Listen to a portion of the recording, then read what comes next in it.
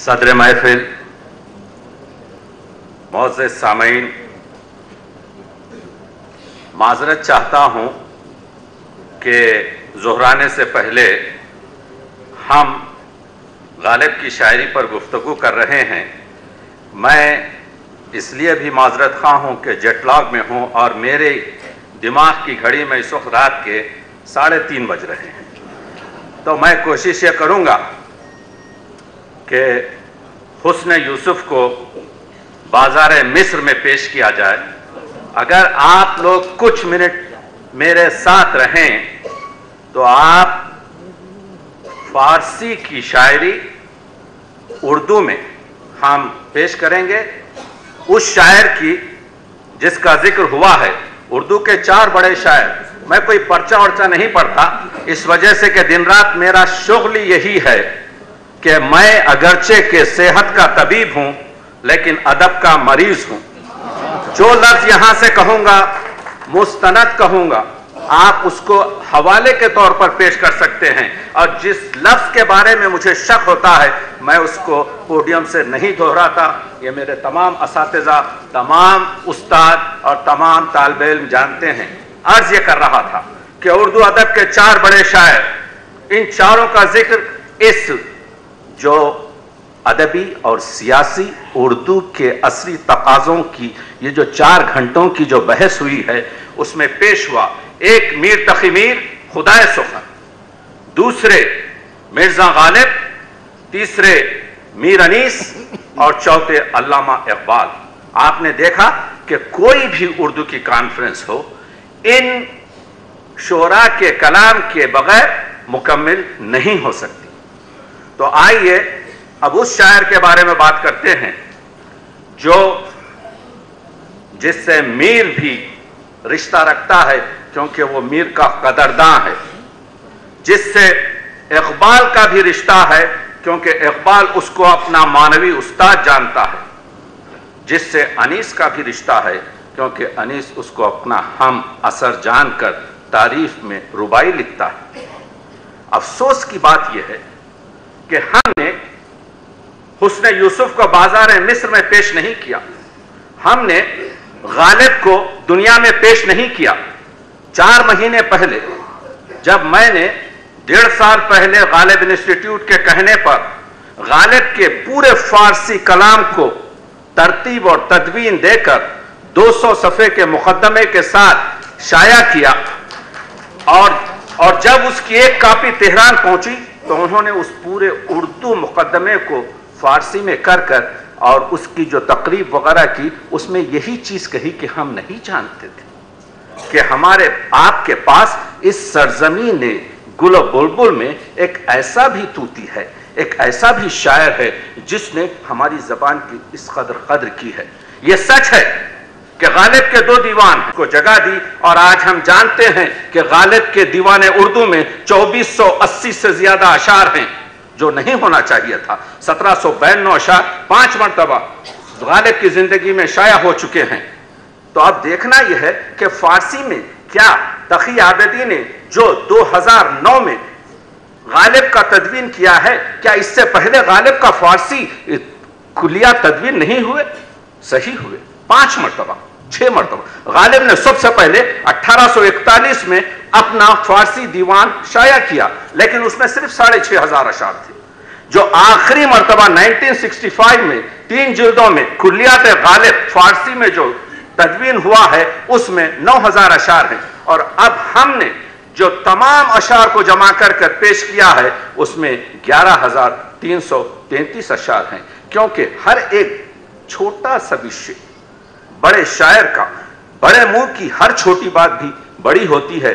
آپ اس کے اشعار سے، لوگوں کو یہ تو معلوم ہے کہ شراب کیا پیتے تھے، شراب کا نام کیا تھا، شراب کے دام کیا تھے، لیکن لوگوں کو یہ نہیں معلوم کہ غالب نے ایک ایسا میراج نامہ لکھا ہے، دو سو اکیاسی اشار میں، کہ دنیا میں فارسی زبان میں پانچ میراج نامے مشہور ہیں، جس میں نظامی کا ہو، خسرو کا ہو، اس میں آپ غالب کے اس میراج نامے کو جس میں دو سو اکیاسی اشار ہیں، سر فہرست رکھ سکتے ہیں۔ میں نے اس پر چالیس صفحے میں اس پر گفتگو کی ہے اور یہ بتانے کی کوشش کی ہے کہ کیوں فارسی ادب کا اگر سرتاج کوئی میراج نامہ ہے، تو وہ غالب دہلوی کا میراج نامہ ہے۔ جاوید نامہ جو اقبال کا ہے، وہ بھی ایک تمثیلی نظم ہے جو آپ دیکھیں گے کہ وہ بھی ایک میراج نامہ ہے، جو لیکن غالب نے سو سال پہلے، اقبال کا جو جاوید نامہ ہے، وہ انیس سو تینتیس کی تباد ہے۔ اور اٹھارہ سو تینتیس میں، پورے سو سال پہلے، غالب نے دو سو اکیاسی اشار میں میراج نامہ جو کیا ہے، آپ دیکھئے اس کے بارے میں کچھ الفاظ میں بیان کروں گا۔ اس تمہید کے بعد میں کوشش یہ کر رہا ہوں کہ میرے سامعین، جن کا وقت بہت اہم ہے، کیونکہ میں زیادہ فضول باتیں اس وجہ سے نہیں کرتا کہ دو ہی جملوں میں گفتگو کرنا چاہتا ہوں۔ انیس سو تین میں اردو ترقی بورڈ بنا اور افسوس کی بات ہے، آج دو ہزار دس میں ہم کو اردو تحفظ بورڈ کی ضرورت حاصل ہو رہی ہے۔ یہ افسوسناک اس وجہ سے کہ ایسی ایسی خوبصورت زبان، ایسی عمدہ زبان جس نے تین سو سال کی عمر میں تقریباً نو سو سال کا سفر ادا کیا ہے، اس کو آج تحفظ کی ضرورت ہے۔ اور آج ہم کوشش کر رہے ہیں کہ کس طریقے سے بنیادی ضرورتوں کو اور عصری مسائل کو اردو کے وہ کیا جائے۔ یہ لوگ خوش ہیں آپ کو دیکھ کر کہ آپ نے ایک ہزار لوگ بنگلور جیسے خوبصورت شہر میں جمع کر لیا۔ تقی آبیدی نے ساڑھے تین ہزار افراد کی اردو کانفرنس شہر ٹورنٹو میں کی ہے۔ مسئلہ یہ ہے۔ مسئلہ یہ ہے کہ اگر ہم سیاست کو ادب سے زیادہ قریب نہ کریں تو اردو ادب کو بہت فائدہ ہوگا۔ اردو ادب کو سیاست سے دور رکھنے میں ہمارا فائدہ ہے۔ ابھی آپ نے ایک بہت عمدہ مزاحیہ خاکہ ہمارے معروف شاعر اور مزاح نگار اور کالم نگار جناب عطا اللہ قاسمی صاحب سے سنا اور جس کا میں ذکر کر رہا ہوں غالب، وہ بھی آپ کے ایک مزاح ہے۔ اس کو حالی نے کہا ہے کہ غالب ایک حیوان ظریف تھے۔ میں معذرت کے ساتھ حالی سے کہوں گا کہ یہ خود غالب نے کہا ہے، شاعرم، منشیم، ظریف و شریف۔ میں شاعر ہوں میں دبیر ہوں، میں ظریف ہوں۔ ذرافت اور وہی چیزوں کو میں ثابت کرنے کی کوشش کروں گا۔ مجھے معلوم ہے کہ لنچ درمیان میں ہے، لیکن کچھ بہت مختصر بہت مختصر۔ اور اس وجہ سے کہ آخر بڑے یہ فنکار جو ہیں، ان کی تخلیقات چیلنج ہوتی ہیں۔ در حقیقت بڑی شاعری پیغمبری بھی ہے اور بڑی شاعری جادوگری بھی ہے۔ اور جادو کو سمجھنا اور سمجھانا بہت مشکل ہے۔ آپ نے دیکھا کہ غالب جیسا شاعر یہ کہہ رہا ہے کہ میرا فارسی دیوان اصل دیوان ہے۔ میری قوت تخیل، میرے کہنے کا انداز، میری فکر کی وسعت، میرا وہ ویژن۔ اگر تم دیکھنا چاہتے ہو تو میرے فارسی کلام میں دیکھو۔ ہم تو اردو کلام ہی پڑھ کر بے خود ہیں کہ یہ غالب کس طرح سے کس گفتگو کو کس طرح سے بنتی نہیں ہے وعدہ و ساغر کہے بغیر تصوف کے مسائل ہوں، کہ تجربات ہوں، کہ مشاہدات ہوں، کہ تحورات ہوں، کہ تصورات ہوں، کہ تنقیدات ہوں۔ یہ تمام چیزیں غالب کی شاعری میں اس خطر ہے کہ اس دس پندرہ منٹ میں یہ حقیر آپ کے سامنے جو ایک معمولی سا طالب علم ہے پیش نہیں کر سکتا، لیکن سچ یہ ہے کہ اگر دریا کا خوشگوار پانی پورا کشید نہ کیا جا سکے تو اتنا تو پیا جائے کہ کم از کم آپ کی تشنگی رفع ہو سکے۔ اسی کوشش میں میں یہ کہہ رہا ہوں کہ غالب نے کہا تھا کہ ہم چمن شاعر و صوفی و نجومی و حکیم، نیز در در خلم مدعی و نقطہ گواہ یعنی مجھ جیسا کوئی شاعر، مجھ جیسا کوئی صوفی، مجھ جیسا کوئی فلاسفر، مجھ جیسا کوئی نجومی اس دنیا میں نہیں ہے، لیکن اس کا مدعی کون ہے؟ اس کا مدعی میرا قلم ہے اور اس کا گواہ وہ نقطہ ہے جو میں نے تحریر پر لکھا ہے۔ شاعرم منشیم ظریف و شریف، ان اضافات چند رام میرم یہ چند صرف چیزیں ہیں جن کو میں پیش کر رہا ہوں۔ تھوڑا سا تو آپ دیکھ رہے ہیں کہ غالب نے جہاں پر جہاں پر اپنے اس فارسی کلام کی گفتگو کی ہے، فارسی سے عوام تو کیا؟ خواص بھی آپ کے بے بہرا ہیں۔ معذرت چاہتا ہوں۔ غالب کہتے ہیں کہ سینہ صافم، قلندرم، مستم، راز خدرا، نہا نمی خواہم۔ میں ایک صاف سینے کا یعنی ایک درخشاں سینہ جس میں محبت ہے اور اسی طرح کا ایک قلندر ہوں اور مست رہتا ہوں اسی میں۔ یہ راز خدرا نہا نمی خواہم۔ میں نہیں چاہتا کہ تمام راز اور رموز میرے سینے میں رہ جائیں اور میں اسے اپنے خبر میں لے جاؤں۔ اور ایک جگہ کہتے ہیں کہ گر شیر و سخن بدہر آئیں بودے، دیوان مرا شہرت پرویں بودے۔ غالب، این فن سخن۔ دین بودے آدیرہ ای زدی کتاب این بودے۔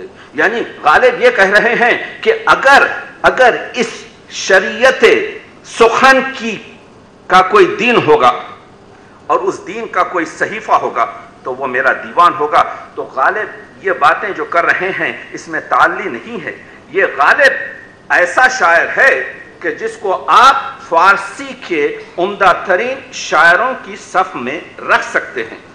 گیارہ ہزار تین سو سینتیس مطبوعہ شعر اس وقت آپ کے سامنے غالب کے موجود ہیں اور ہم نے جو کام کیا ہے، جو یوں کہتے ہیں کہ تیر مارا ہے، تو غالب کی کچھ فارسی غزلوں پر اور غالب کی دو تین مصنویاں جس میں چراغ دیر ہے، اس پر ہم نے بہت سے صفحہ سیاہ کیے ہیں۔ لیکن غالب کو پوری طریقے سے، غالب کا جو ویژن ہے، غالب کی جو غصت ہے، غالب کا جو تفکر ہے، غالب کا جو تخشص ہے، غالب کی جو کاملاً تخیل کی گہرائی ہے، اس سے کبھی اپنے آپ کو منسلک نہیں کیا ہے۔ دیکھیے، غالب نے ایک بار کہا تھا، غالب بدقسمت اس طریقے سے تھے کہ جو دور ان کو ملا وہ دور ان کا شناسہ نہیں تھا۔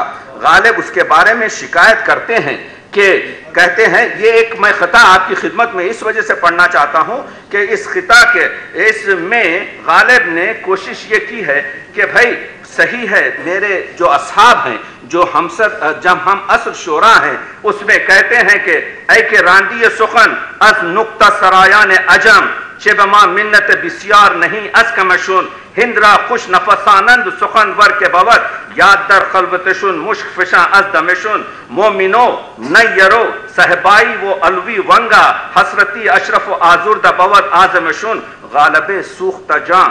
گرچہ نریزت بشمار، ہس در بزم سخن ہم نفس و ہم دمشن کہتے یہ ہیں کہ میرے جو یہ دوست ہیں، جن کے نام مومن و صحبہ اور صحبی اور آپ کے علوی اور نیر وغیرہ یہ ہیں۔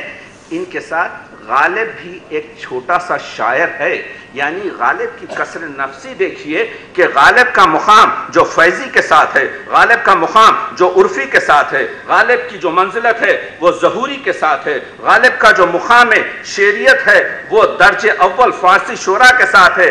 غالب ان معاملی شورا کے ساتھ اپنا اپنا طریقہ کار یہ بتاتے ہیں کہ میں بھی ان کے زمانے کا ایک چھوٹا سا شاعر ہوں، لیکن حالی نے اس طرف گفتگو کی ہے، کیونکہ مجھے بہت جلد ہی آپ کی جو ہے زحمت کو تمام کرنا ہے۔ حالی کہتے ہیں خصی و صاحب و اسیر و کلیم، لوگ جو چاہیں ان کو ٹھہرائیں۔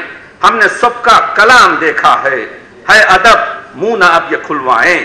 غالب نقطہ سے کیا نسبت؟ خاک کو آسمان سے کیا نسبت؟ یہ غالب کی کسر نفسی تھی کہ کسر نفسی ہے غالب کی کہ غالب ان شورا سے اپنے آپ کو ملا رہا ہے۔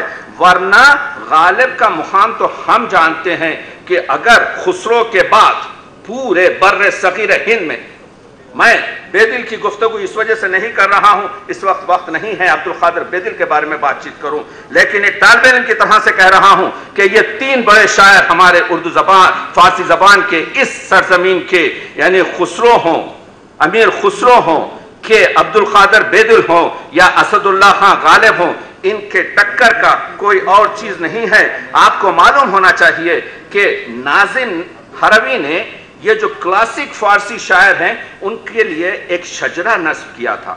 وہ کیا تھا؟ کہ شنیدم کے در دور گاہے کوہن شدے انصری شاہ بے سو یعنی فارسی میں پہلے انصری تھے، انصری کی جگہ فردوسی آئے، فردوسی کی جگہ خاخانی آئے اور خاخانی کے بعد نظامی آئے اور نظامی کے بعد سادی آئے۔ جو اورنگ سادی فروشت ذکار سخن گشت بر فرق خسرو تتار۔ اس کے بعد خسرو آئے۔ ز خسرو چو نوبت با جامی رسید۔ ز جامی سخن را تمامی رسید۔ یعنی ناظم حروی نے کلاسیکل فارسی شاعری کو لا کر عبد الرحمن جامی پر ختم کر کر یہ کہا کہ جامی کے بعد فارسی شاعری کلاسک ختم ہو چکی۔ لیکن غالب نے اضافہ کیا شعر۔ غالب کہتے ہیں، ز جامی با عرفی و طالب رسید۔ ز عرفی و طالب با غالب رسید یعنی کلاسک شاعری فارسی کی عبد الرحمن جامی پر ختم نہیں ہوئی۔ جامی سے گئی ہے عرفی پر، عرفی سے آئی ہے طالب پر۔ طالب سے پھر غالب تک آئی ہے۔ اور غالب پر جا کر یہ کلاسیکل فارسی کی جو عظمت ہے، وہ اپنی جگہ پر برقرار رہی ہے۔ لیکن آپ کو معلوم ہونا چاہیے کہ غالب کا جو جھگڑا تھا فارسی کی شاعری میں وہ یہ تھا کہ غالب جو بر صغیر کے جو نقات تھے، شورا تھے، ان کو سند نہیں مانتے تھے۔ یعنی فارسی زبان کی سند غالب نے صرف اس زمانے کے جو ایرانی الاصل شاعر تھے، ان کو قرار دی ہے۔ غالب کہتے ہیں کہ آپ کو معلوم ہے کہ خطیل لکھنوی سے ان کی بڑی بحث چلی تھی۔ کہتے ہیں کہ از اہل زبان نبوت خطیل ہرگز از اسفہاں نبوت قتیل کان زبان خاص اہل ایران اس مشکل ما و سہل ایران اس سخنس آشکار و پنہانیس دہلی و لکھنؤ ز ایرانیس دامنس کف کا چگونے رہا، طالب و عرفی و نظیری رہا یعنی یہ کہتے ہیں کہ یہ جتنے بھی شعرا ہیں، یہ انڈین اوریجن ہیں، ان کی زبان مادری زبان ایرانی نہیں ہے، ان کی مادری زبان فارسی نہیں ہے، یہ تورانی لہجہ ہے۔ اس لحاظ سے ہم کو چاہیے کہ اگر تنخید لیں تو ہم کو چاہیے کہ ان سے لیں۔ اس کے بعد سے فوراں کہتے ہیں، میں تخلید نہیں کرتا۔ ذل بردار کس چرا باشم ذلے کہتے ہیں، دستخان پر جو ٹکڑے رہ جاتے ہیں۔ کہتے ہیں کہ میں ان کے دستخانوں کے ٹکڑے نہیں کھاتا۔ مان، ہمایم، میں ہما ہوں، مگس چرا باشم میں مکھی بن کر کیوں زندگی کروں؟ تو بس آپ کی جو ہے زحمت، میں بس چار یا پانچ منٹ میں آپ کی زحمت تمام کر رہا ہوں، تو آپ نے دیکھا کہ مقام غالب کو تعین کرنے کے لیے تقریباً پینتالیس منٹ کی گفتگو لازمی ہے۔ میں تو اشاروں میں بات اس وجہ سے کر رہا ہوں کہ اہل علم اور اہل سخن یہاں پر بیٹھے ہوئے ہیں۔ غالب نے چیلنج کیا ہے، بیا ورید گر انجا بوس زبان دانی۔ لے کر آؤ کسی کے سامنے، اگر کوئی کہتا ہے کہ میں زبان جانتا ہوں۔ بیا وری گر اینجا بوز زبان دانی. غریب شہر سخن ہائے گفتنی دارت میں غریب شہر ہوں، لیکن میں بات کرنا چاہتا ہوں. تو کہ اے محو سخن گستران پیشنی تو جو اتنا لہک لہک کر اپنے گزرے ہوئے شورا فارسی کی بات کر رہا ہے. مباش منکر غالب، مباش منکر غالب تو کو چاہیے کہ غالب کی پرسنالٹی اور شخصیت سے انکار نہ کر. مباش منکر غالب کے در زمانے توس تمہاری زندگی میں، تمہارے زمانے میں غالب زندہ ہو رہا ہے۔ لکھتا ہے، کیفیت عرفی طلب استینت غالب۔ اگر عرفی شیرازی کی کیفیت کو شیروں میں ڈھالنا ہے اور سمجھنا ہے، تو اس کو تم کو چاہیے کہ غالب سے حاصل کرے۔ جامع دیگراں باد شیراز نادارت۔ دوسروں کی شاعری میں کسی طریقے سے شراب شیراز نہیں ملے گی۔ کسی طریقے سے عرفی کی جو شیریت ہے، دوسری شاعری میں نہیں ملے گی۔ جواب خواجہ نظیری نوشتام غالب، اے غالب تو نے خواجہ نظیری کا جواب لکھا ہے، خطا نمودم و چشم آفرید آرام میں نے اگرچہ کہ بزرگوں کے کا جواب لکھ کر خطا کی ہے، تو آپ دیکھ رہے ہیں کہ غالب یہ کہہ رہے ہیں کہ میری ارزش کو سمجھنے کے لیے ضروری یہ ہے کہ مسنج شوکت عرفی کے بوش شیرازی اس زمانے میں مسئلہ یہ تھا کہ ہر شخص جو اہل ایران تھا جس کی مادری زبان فارسی تھی اس کو کہتے تھے کہ وہ بڑا شاعر ہے اور غالب کی شاعری کا جو ہے یہ لوگ سکہ نہیں مان رہے تھے۔ تو غالب کہتے ہیں مسنج شوکت عرفی کے بوش شیرازی۔ دیکھو عرفی کی جو ہے شوکت اور اس کی حیثیت کو اوپر مت لے جاؤ۔ یہ کہہ کہ, کہ وہ شیرازی تھا۔ مشو اسیر زلالی کے بوت خونساری، یا زلالی کے اسیر اس وجہ سے نہ ہو کہ وہ ایران خانسا سے تعلق رکھتا تھا۔ بس سومنات خیالم، درائی تابینی میرے سومناتی خیالوں کی دنیا میں تو آ جاؤ۔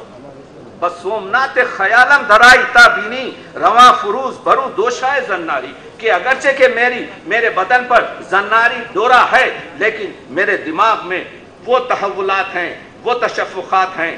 وہ ویژن ہے، وہ وسط فکری ہے، اس کو اس کو غالب نے اس کا نام کہا ہے سومنات خیالم یعنی ہند کی زمین سے اس کو اٹیچ کر کر۔ اسی لیے پروفیسر حسن حائری نے جو خسائد جو خسائد دبیر کو شائع کیا، اس کا نام ہی رکھا آپ کے سومنات خیالم۔ تو میں نے آپ سے کہا تھا کہ غالب نے اپنے آپ کو شاعر، کیا کہا؟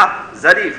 دو شعر آپ کے جو ہے، کہتا ہوں کہ اردو زبان میں یہ بوسے کا جو مضمون ہے، یہ بڑا گھسا گھسا پیٹا مضمون ہے۔ اردو زبان کا میں کہہ رہا ہوں، فارسی زبان کا بھی یہی حال ہے۔ فارسی زبان کا بھی یہی حال ہے۔ اب آپ دیکھیے کہ کہتے ہیں کہ غالب کا ہے انداز بیاں اور۔ غالب نے بھی، میں نے اپنے مقدمے میں کیا کیا ہے، غالب کے فارسی کے کمس کوئی بیس، پچیس شعر جو بوسے سے تعلق رکھتے ہیں اس کا ایک پورا چاپٹر بنا کر یہ بتانے کی کوشش کی ہے کہ اس گھسے پٹے مضمون میں غالب دیکھیے کس طریقے سے نو نیا مضمون تو غالب کا ایک شعر ہے، میں ذہن سے پڑھ رہا ہوں کہ کہتے ہیں کہ نیم لبش انگبی، نیم یش تبرزر، میرے معشوق کا آدھا ہونٹ شہد سے بنا ہوا۔ میرے معشوق کا نیم لبش انگبی، اس کا آدھا ہونٹ شہد سے بنا ہوا۔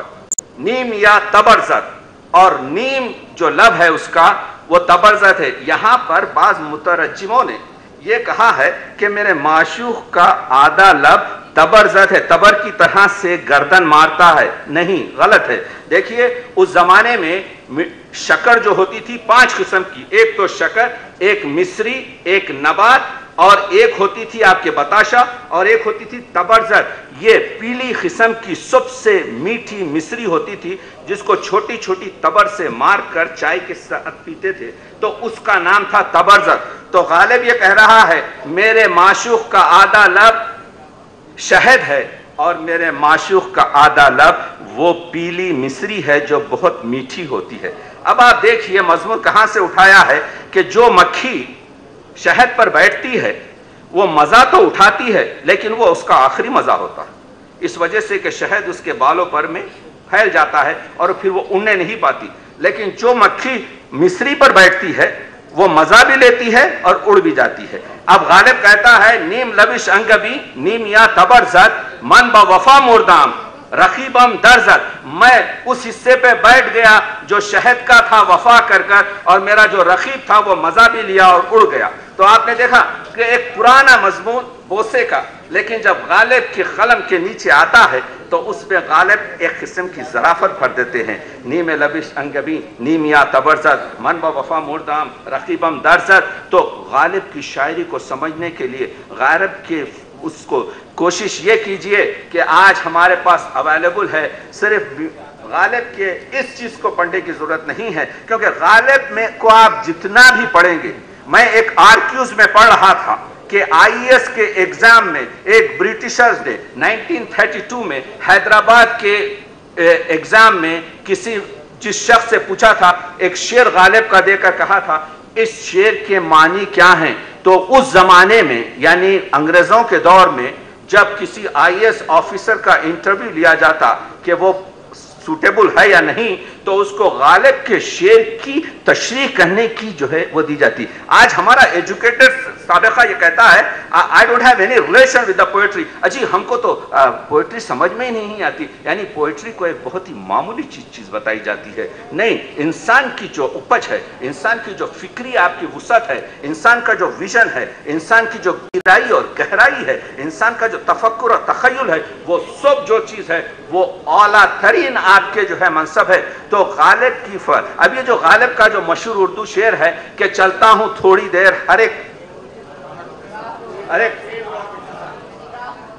چلتا ہوں تھوڑی دیر، ہر ایک تیز رو کے ساتھ، پہچانتا نہیں ہوں ابھی راہ بر کو میں۔ تو غالب یہاں پر یہ کہہ رہا ہے کہ غالب یہاں پر یہ کہہ رہا ہے کہ وہ کسی رہبر کے ساتھ نہیں چل رہا ہے۔ کہنے میں تو شعر ایسا محسوس ہو رہا ہے کہ غالب ہر ایک چھوٹی چھوٹی چیز کے ساتھ چل رہا ہے۔ غالب یہ کہہ رہا ہے کہ ہر ایک شخص جو میرے ساتھ چل رہا ہے، وہ تھوڑی دیر میرے ساتھ چل رہا ہے۔ اس کے بعد وہ پیچھے ہٹ جاتا ہے۔ یعنی رفتار جو غالب کی ہے سب سے آگے ہے، پہچانتا نہیں ہوں ابھی راہ بر کو میں۔ راہ بر اس کو کہتے ہیں جو راہ پر رہتا ہے۔ رہنما انگلی سے اشارہ کر کے بتا سکتا ہے راستے کو۔ راہ بر راستے پر رہتا ہے اور کاروان کے آگے رہتا ہے۔ لفظ رہنما استفادہ نہیں کیا غالب نے۔ کہتا ہے، پہچانتا نہیں ہوں ابھی راہ بر کو میں۔ یعنی کوئی بھی میری صورت تک، میری رفتار تک نہیں پہنچ سکتا۔ اسی وجہ سے تو کہا کہ ہے کہاں کہ نہیں، آپ کے ایک ہی۔ ہے کہاں تمنا کا دوسرا ختم ہم نے دشت امکان کو، ہم نے دشت امکان کو ایک نقش پا پایا۔ ہم نے دشت امکان کو ایک نقش پا پایا۔ جس شخص کی صورت ایسی ہو کہ دشت امکان کو ایک ہی قدم میں حاصل کر لے، اس کی صورت، اس کی رفتار، اس کی گفتار کی جو ہے کیا جا سکے۔ بہرحال، بس آپ کی زحمت میں اپنے جٹلاگ میں اس معاشر کو اس یہاں تک پہنچا دیا۔ اس وجہ سے کہ یہ غالب خستہ کی بات ہے، یہ مرزا نوشہ کی بات ہے۔ اس کے فارسی کلام کو پڑھیے، اس سے لذت اٹھائیے اور اس حسن یوسف کو ہر لینگویج میں ہو سکے ٹرانسفر کر کر بازار مصر میں پیش کیے۔ آپ کی حسن سماعت کا میں ممنون، شکریہ، بہت بہت